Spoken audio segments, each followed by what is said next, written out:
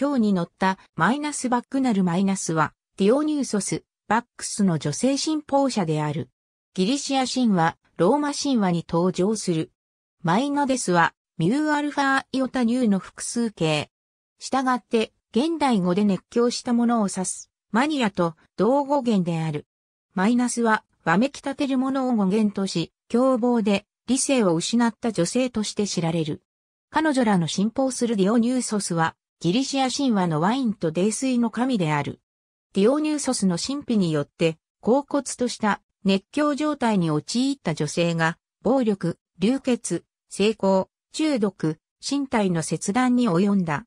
彼女らは通常、キズタでできた冠をかぶり、小鹿の皮をまとい、トゥルソスを持ち運んでいる姿で描かれる。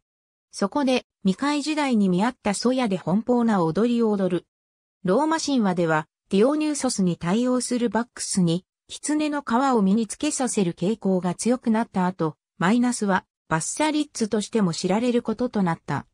説話における、マイナスの振る舞いは、エタノールの酩酊作用を説明しようとしたものである。エタノールは時として、シラフではとてもできないような、ハレンチな所業の原因となる。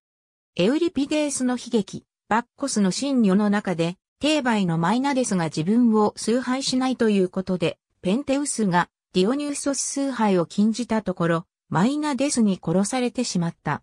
ディオニューソスはペンテウスのいとこだったのだが、彼をマイナデスの待つ森におびき寄せた。そこで、マイナデスはペンテウスを切り裂き、バラバラにした。マイナデスの中には母親、アガウェイも混じっており、彼女が我が子の首を切り落とす場面がクライマックスである。マイナデスの一頭はオルペウスも殺した。ギリシア芸術において、水とワインを混合するときに用いる、今出期にディオニューソスと戯れるマイナデスがしばしば描かれた。そこでは熱狂したマイナデスが林をかけ、たまたま出会った動物を八つ咲きにし皆殺しにする場面が描かれている。